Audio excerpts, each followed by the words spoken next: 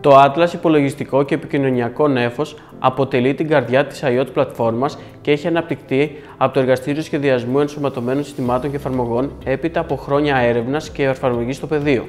Οι υπολογιστικές μονάδες που βρίσκονται στην υποδομή του Atlas δημιουργούν ένα σύμπλεγμα εικονικών και φυσικών μηχανών κάνοντας χρήση της τεχνολογίας Docker.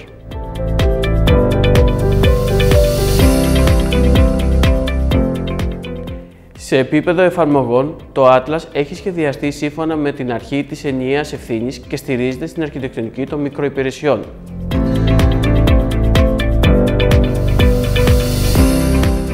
Σύμφωνα με τη συγκεκριμένη αρχιτεκτονική, κάθε εφαρμογή είναι αυτοδύναμη, αυτόνομη και υπεύθυνη αποκλειστικά για την παροχή μιας συγκεκριμένης υπηρεσίας.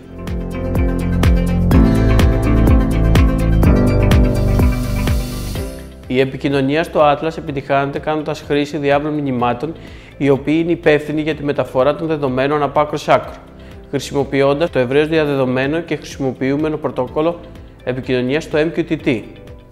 Αλλά υποστηρίζουμε και άλλες ευρέως χρησιμοποιούμενες επικοινωνίες όπως REST API και CoAP.